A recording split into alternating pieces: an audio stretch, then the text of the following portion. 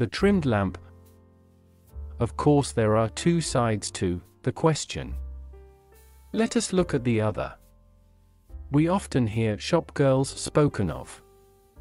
No such persons exist. There are girls who work in shops. They make their living that way.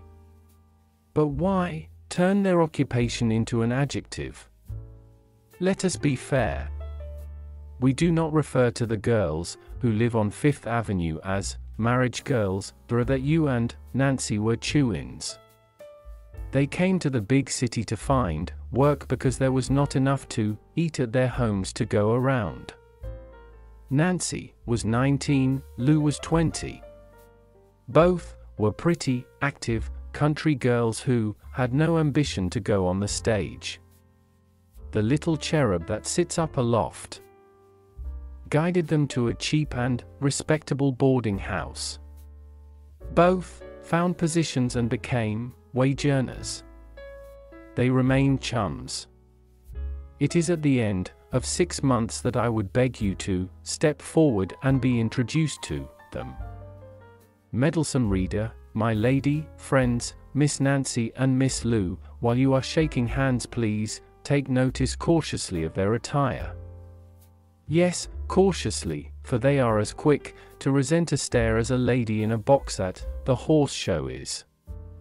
Lou is a piecework ironer in a hand laundry. She is clothed in a badly dash fitting purple dress, and her hat plume is four inches too long, but her ermine, muff and scarf cost $25, and its fellow beasts will be ticketed in the windows at $7.98 before the season is over. Her cheeks are pink and her light blue eyes bright. Contentment radiates from her. Nancy you would call a shop girl, because you have the habit. There is no type, but a perverse generation is always seeking a peep, so this is what the type should be. She has the high-ratted pompadour, and the exaggerated straight front. Her skirt is shoddy, but has the correct flare. No furs protect her against the bitter, spring air, but she wears her short broadcloth jacket as jauntily as though it were Persian lamb. On her face and in our eyes, remorseless, type seeker, is the typical shop girl, her expression. It is a look of silent, but contemptuous revolt against cheated womanhood, of sad prophecy, of the vengeance to come. When she laughs her loudest, the look is still there. The same look can be seen in the eyes of Russian peasants, and those of us left will see it some day. On Gabriel's face when he comes Uto, blow us up. It is a look that should wither and abash man, be you he has been known to, smirk at it and offer flowers, with a string tied to them. Now lift your hat, and come away, while you receive, lose cheery, see you again, and the sardonic, sweet smile of Nancy. That seems, somehow, to miss you and go fluttering like a white moth up over the housetops to the stars. The two waited on the corner for Dan, Dan was Lou's steady company. Faithful? Well, he was on hand when Mary would have had to hire a dozen subpoena servers to find her, lamb. Ain't you cold, Nance, said Lou, say, what a chump you are for working in that old store for $8 a week. I made $18.50 last week. Of course, ironing ain't as swell work as selling lace behind a counter, but it pays. None of us ironers make less than $10. And I don't know that it's any less respectful work, only that you can have it, said Nancy, with uplifted nose. I'll take my eight a week and haul dash. Bedroom. I like to be among nice things, and swell people. And look what a chance I've got. Why, one of our glove girls married a Pittsburgh steel maker, or blacksmith, or something, the other day worth a million dollars. I'll catch a swell myself sometime. I ain't bragging on my looks or anything, but I'll take my chances where there's big prizes offered. What show would a girl have in a laundry? Why, that's where I met Dan, said Lou triumphantly. He came in for his Sunday shirt and collars and saw me at the first board ironing. We all try to get to work at the first board. Ella McGuinness was sick that day, and I had her place. He said he noticed my arms first, how round and white they was. I had my sleeves rolled up. Some nice fellows come into laundries. You can tell M by their bringing their clothes in suitcases and turning the door sharp and sudden.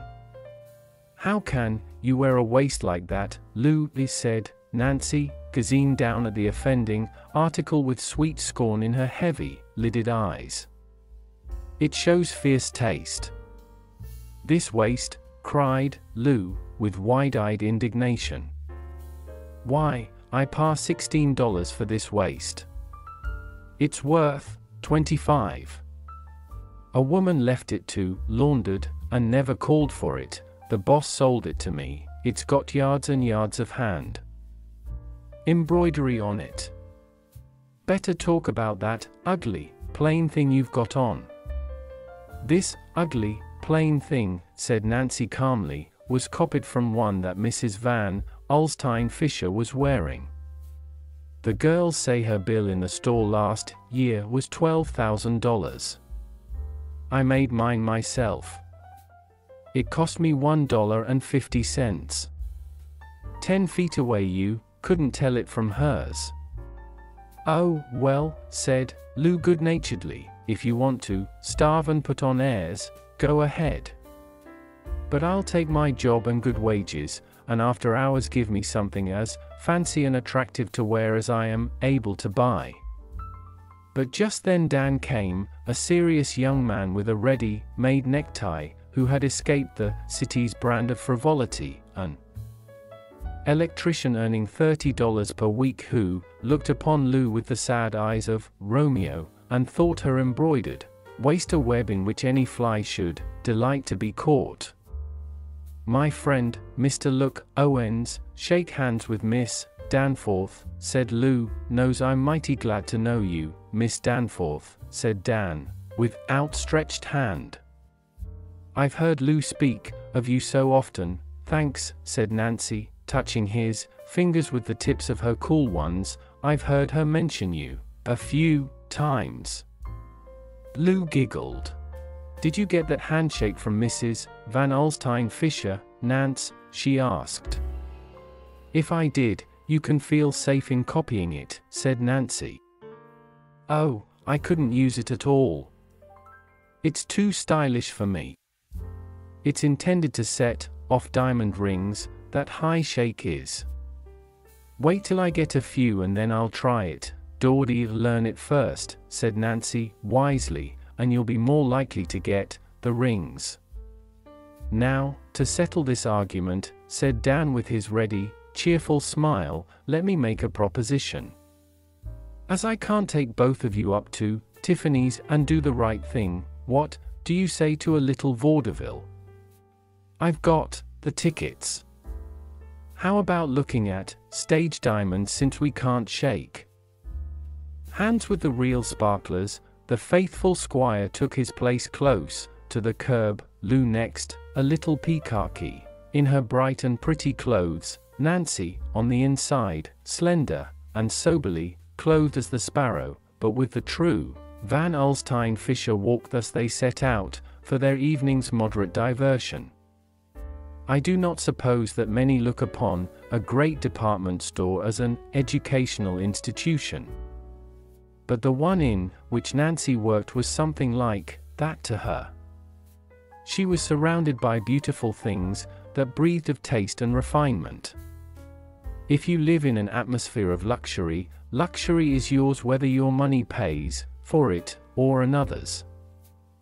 The people she served were mostly women whose dress, manners, and position in the social world were quoted as criterions. From them Nancy began to take toll, the best from each according to her view. From one she would copy and practice, a gesture, from another an eloquent, lifting of an eyebrow, from others, a manner of walking, of carrying a purse, of smiling, of greeting a friend, of addressing inferiors in station. From her best beloved model, Mrs. Van Alstyne Fisher, she made requisition, for that excellent thing, a soft, low voice, as clear as silver and as perfect in articulation as the notes of a thrush. Suffused in the aura of this high, social refinement and good breeding, it was impossible for her to escape a deeper effect of it. As good habits are said to be better than good principles, so, perhaps, good manners are better than good habits. The teachings of your parents may not keep alive your New England conscience, but if you sit on a straight back chair and repeat the words, prisms and pilgrims 40 times, the devil will flee from you. And when Nancy spoke in the Van Alstyne Fisher tones, she felt the thrill of noblesse oblige to her very bones. There was another source of learning in the great departmental school. Whenever you see three or four shop dash, girls gather in a bunch and jingle their wire bracelets as an accompaniment to apparently frivolous conversation, do not think that they are there for the purpose of criticizing the way Ethel does her back hair. The meeting may lack the dignity of the deliberative bodies of man, but it has all the importance of the occasion, on which even her first daughter first put their heads together to make Adam understand his proper place in the household. It is a woman's conference for common defense and exchange of strategical theories of attack and repulse upon and against the world, which is a stage, and Alan, its audience who persists in throwing bouquets thereupon. Woman, the most helpless of the young, of any Arimal, with the fawn's grace, but without its fleetness, with the bird's beauty but without its power of flight, with the honeybee's burden of sweetness but without its oh, let's drop that similar some of us may have been stung. During this council of war they pass weapons one to another, and exchange stratagems that each has devised and formulated out of the tactics of life. I says to him, says Sadie, ain't you the fresh thing? Who do you suppose I am to be addressing such a remark to, me? And what do, do you think he says back to me? The heads, brown, black, flaxen, red, and yellow bob together, the answer is given, and the parry to the thrust is decided upon to be used by each, thereafter in passages at arms with the common enemy, man. Thus Nancy learned the art of defense, and to women successful mod, defense means victory. Sell the curriculum of a department store is a wide one. Perhaps no other college could have fitted her as well for her life's ambition, the drawing of a matrimonial prize. Her station in the store was a favored one. The music room was near enough for her to hear and become familiar with the works of the best composers, at least, to acquire the familiarity that passed for appreciation in the social world in which she was vaguely trying to set a tentative and aspiring foot. She absorbed the educating influence of art wares, of costly and dainty fabrics, of adornments that are almost culture to women.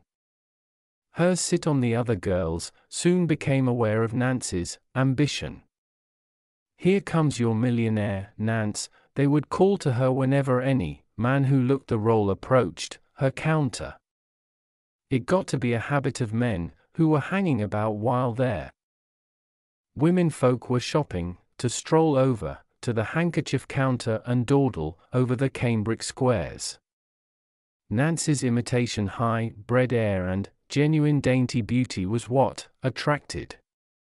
Many men thus came to display their graces before her. Some of them may have been millionaires, others were certainly not, more than their sedulous apes. Nancy learned to discriminate. There was a window at the end of the handkerchief counter, and she could, which see the rows of vehicles waiting for the shoppers in the street below. she looked and perceived that automobiles differ as well as do their owners. Once a fascinating gentleman bought for dozen handkerchiefs and wooed her across the counter with a king Cophetua air. When he had gone, one of the girls said, What's wrong, Nance, that you didn't warm up to that fellow? He looks, the swell article, all right, to me. Him, said Nancy, with her coolest, sweetest, most impersonal Van Alstyne Fisher smile, not for mine. I saw him drive up outside. A 12 HP machine and an iris. Chauffeur. And, you saw what kind of handkerchiefs he bought, silk. And he's got dactylus on him.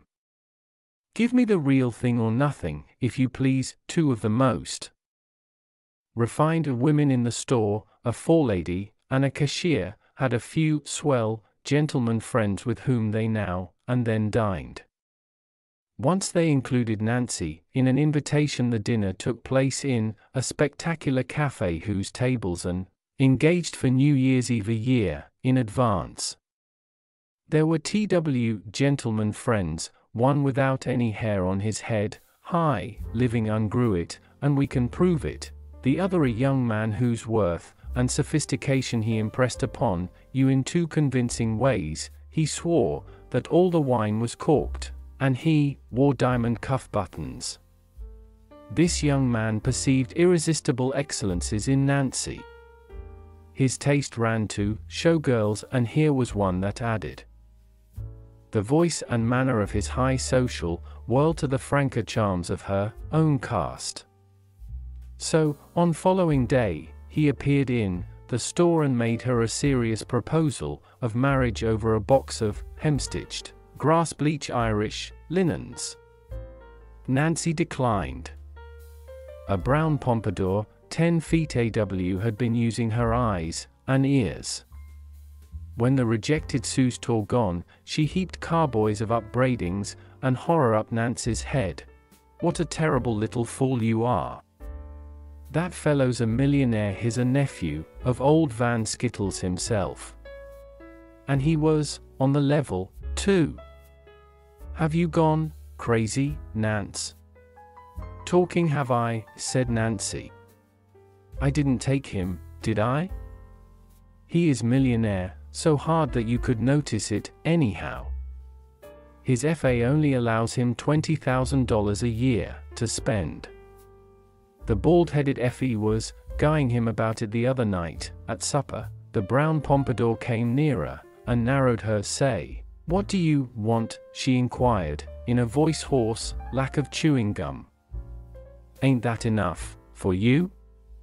Do you WA to be a Mormon, and marry Rockefeller and Gladstone, Dow and the King of Spain and the whole bunch?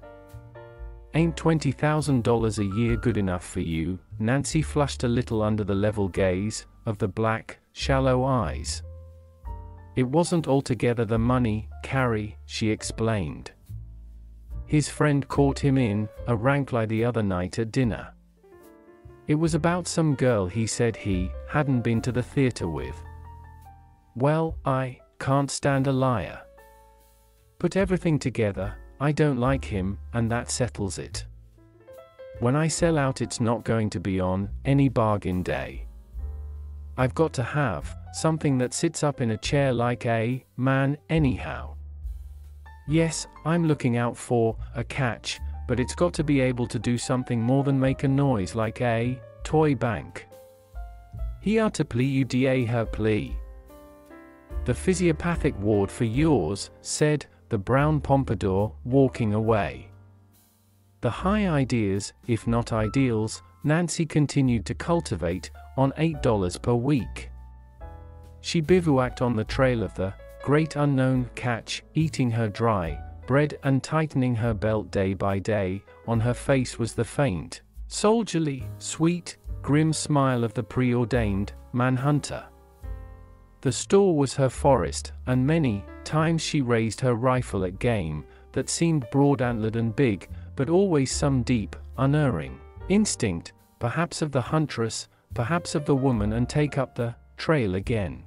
made her hold her fire weak. She seen, you are Lou flourished in the laundry. Out of her $18.50 per paid $6 for her room and board. The rest went mainly for clothes, her opportunities for bettering her taste, and manners were few compared with Nancy's. In the steaming laundry, there was nothing but work, work, and her thoughts of the evening pleasures to come. Many costly and showy fabrics passed under her iron, and it may be that her growing fondness for dress was thus transmitted to her through the conducting metal. Outside, he that when the day's work was over Dan awaited her faithful shadow, in whatever light she stood. Sometimes, he cast an honest and troubled glance. At Lou's clothes that increased in conspicuity rather than in style on duck, this was no disloyalty, he deprecated. The attention they called to her in the streets, and Lou was no less faithful to her, chum. There was a law that Nancy should go with them on whatsoever outings they might take. Dan bore the extra burden heartily and in good cheer. He was of that good kind that you are likely to forget while they are present.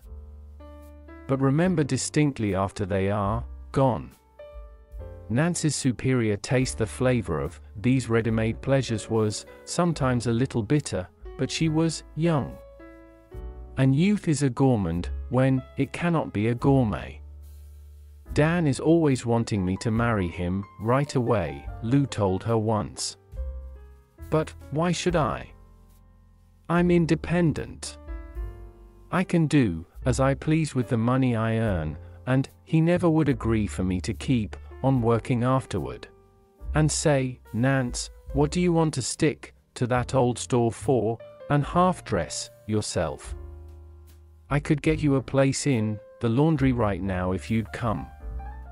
It seems to me that you could afford to be a little less stuck up if you could make a good deal more money day that I don't think I'm stuck up, Lou, said Nancy, but I'd rather live on half rations and stay where I am. I suppose I've got the habit. It's the chance that I want. I don't expect to be always behind a counter. I'm learning something new every day. I'm right up against refined and rich people all the time, even if I do only wait on them, and I'm not missing. Any pointers that I see passing around. Caught your millionaire yet? asked Lou, with her teasing laugh. I haven't selected one yet, answered Nancy. I've been looking them over, under goodness. The idea of picking over M. Don't you ever let one get by, you, Nance, even if he's a few dollars shy. But of course you're joking millionaires, don't think about working girls like us. Her, it might be better for them if they did, said Nancy, with cool wisdom. Some of us could teach them how to take care of their money. If one was to speak to me, laughed Lou, I know I'd have a duck fit. That's because you don't know any. The only difference bet we swells and other people is you have to watch M. Closer. Don't you think that red silk lining is just a little bit too bright for that coat? Lou, Lou looked at the plain, dull olive jacket of her friend. Well, no, I don't, but it may seem so beside that faded dash looking thing you've got on to the who, this jacket, said Nancy complacently, has exactly the cut and fit of one that Mrs. Van Alstyne Fisher was wearing the other day. The material cost me $3.98. I suppose, hers cost about $100 more, to him Imsel, so N.A. quoted, Oh, well, said Lou lightly. It don't strike me as millionaire bait, one shouldn't wonder if I catch one, before you do. And say, Nance, what do you want to stick to that old store for, and half dress yourself?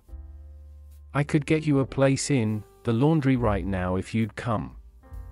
It seems to me that you could afford to be a little less stuck up if you could make a good deal more money day that I don't think I'm stuck up, Lou, said Nancy, but I'd rather live on half rations and stay where I am. I suppose I've got the habit. It's the chance that I want. I don't expect to be always behind a counter. I'm learning something new every day.